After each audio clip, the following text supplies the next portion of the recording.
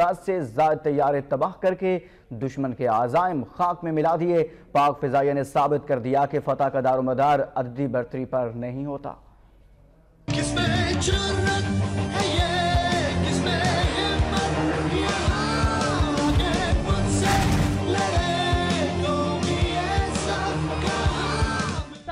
सितंबर योम फजाया। हमारे शाहीनों और जाबाजों की बेमिसाल कुर्बानियों और कारनामों को याद करने का दिन है। जब पाक भारत जंग में पाक फजाइया के जाबाजों ने जुर्रत और बहादुरी की ऐसी मिसालें कायम की, जिन्हें हमेशा याद रखा जाएगा। जंग में बहादुर सुपूतों ने वतन अज़ीज़ का दिफा किया। जाबाज pilot squadron leader M M Alam का शुमार भी उन्हीं दलेर जाबाजों में होता है, जिन्होंने एक झड़प में भारत के चार तैयारे मार गिराए।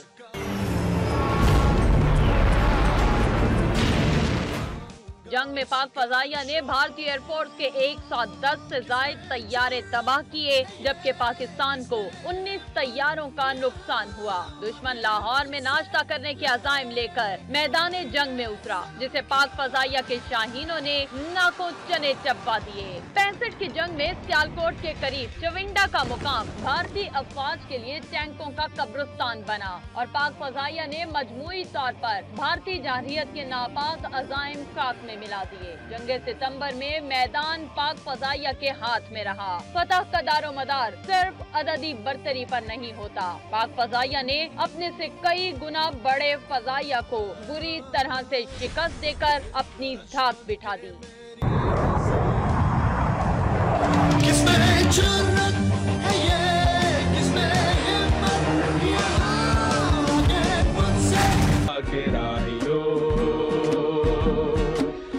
बादलों के साथियों।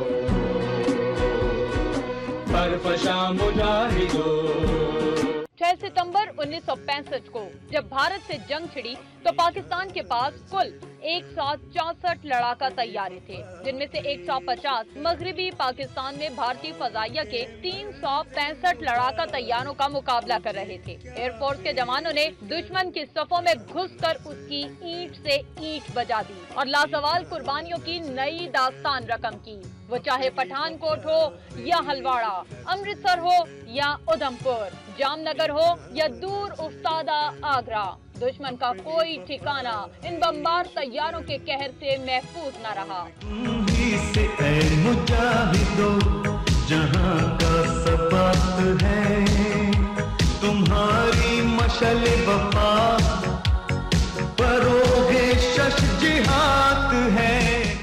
सितंबर का सूरज पाक फजाइया को फतह की नवीद देता हुआ तुलू हुआ। एम एम आलम ने तने तनहा दुश्मन के पाँच हंटर तैयारे तबाह कर दिए और दुश्मन पर साबित कर दिया कि पाक फजाइया के शाहीनों का कोई मुकाबला नहीं। इसकी याद में 6 सितंबर योम दिफाए पाकिस्तान और 7 सितंबर योम फजाइया के तौर पर मनाया जाता है। पाक फजाइया के पायलट हों या न्यूगेडियर्स रेडार कंट्रोलर हों या इंजीनियरिंग ऑफिसर तमाम दुश्मन के सामने सीसा पिलाई दीवार साबित हुए।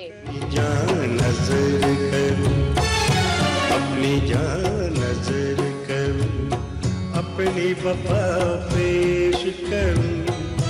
कौम के मर्द मुजाहिद तुझे क्या पेश करूँ? मौसर जंगी कार्रवाइयों में कई नामवर हवाबाज हीरो बन के उभरे।